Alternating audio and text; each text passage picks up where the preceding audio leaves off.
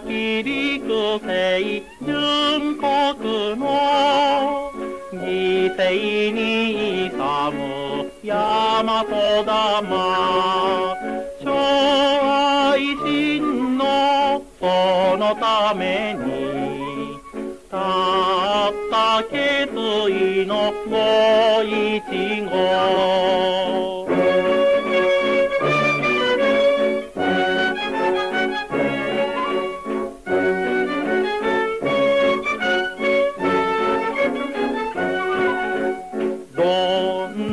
一発確信ののろしに上がる時の声。覚ませ悪夢を開け目を寄せる黒しをなんと見る。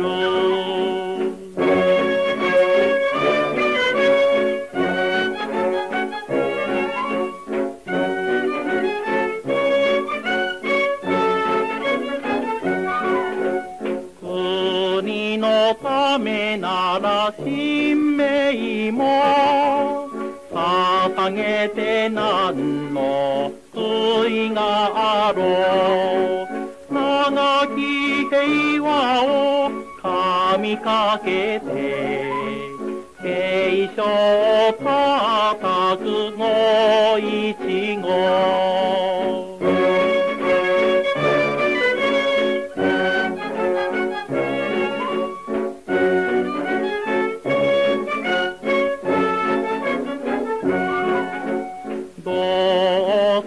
うせ散るなら潔く桜と咲いて君のため。